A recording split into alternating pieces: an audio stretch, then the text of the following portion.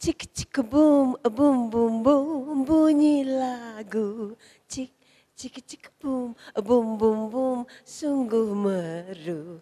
Cik cik cik boom boom boom boom oh laguku penawar duka tentu gembira. Ya, saya Rosita Rohaizat dan uh, memang dah lama menyanyi, uh, mungkin kurang dapat publicity uh, apa tetapi saya berterima kasih, bersyukur kerana sentiasa diberi peluang dan ramai kawan-kawan, saya ingat kamu semua yang telah memberi saya sokongan, peluang uh, menyanyi sentiasa lah. Jadi setiap-tiap tahun ni semenjak 2008 saya telah banyak menghasilkan lagu-lagu baru. Bermaksud saya sekarang ni penyanyi ya, penyanyi sepanjang zaman lah ya.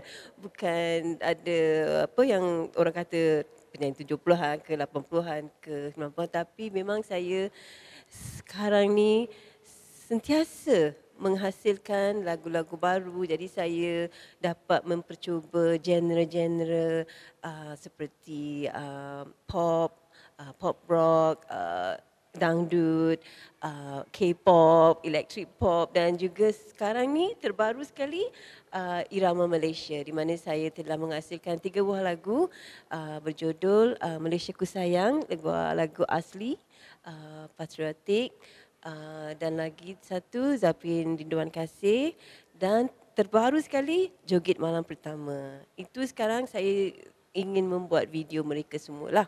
Uh, jadi sibuk sibuk sibuk sangat. Uh, Allah Yarhamah Puan Sri Saluma bukan saja uh, ibu saudara ya. Dia seorang idola pada saya yang saya segan. Jadi pada permulaan uh, karya saya, saya takut sangat kalau dibezakan dengan arwah mama. Jadi saya mengeluarkan identiti saya sendiri. Uh, tetapi lama kelamaan saya dapat merasakan yang uh, ramai memperkatakan bahawa saya ni ada uh, ciri-ciri beliau uh, bukan dari segi rupa saja dari segi uh, personality suara saya. Jadi uh, ya yeah, uh, banyak show sekarang perlukan saya jadi uh, Puan Sri Saloma dan uh, alhamdulillah itu rezeki saya lah. Uh, masa saya mula-mula menyanyi uh, arwah mak uh, puan apa kita kata Allahyarhamah Siniwati Mariani Ismail. Dia uh, gembira sangat. Walaupun dia terkejut lah kerana saya ni kat sekolah memang uh, apa aktif dalam pelajaran uh, pelajar cemerlang. Jadi mereka tak sangka yang saya akan ikut jejak mereka. Jadi bila dengan terkejut saya jadi seorang penyanyi mak uh, arwah mak gembira.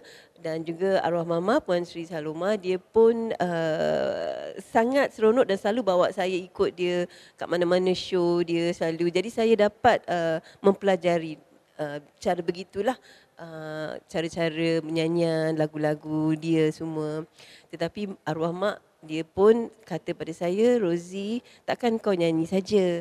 Kau uh, berlakon jugalah ya. Uh, kau pun anak aku juga. Jadi saya uh, mulalah nak ambil hati mak, saya pun berlakon.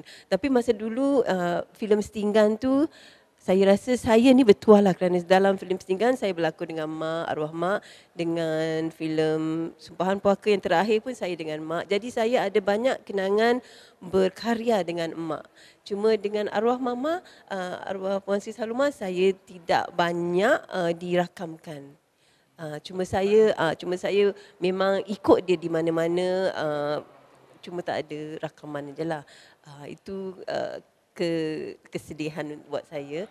Tetapi uh, itulah semakin saya menjalani hidup saya ini sebagai seorang penyanyi saya saya sedar bahawa saya harus uh, mem, apa meneruskan legasi mereka. Jadi terima kasih yang uh, sentiasa bagi saya peluang terutama sekali uh, kepada Allah ya yang selalu uh, memberkati saya dengan uh, nikmat-nikmat dapat kawan dapat uh, rakan uh, kerja yang uh, membantu saya Uh, dalam April uh, belum ada lagi tetapi memang saya uh, akan ke Australia tak lama lagi kerana saya akan buat persembahan hari raya di sana uh, di Melbourne dan di Sydney.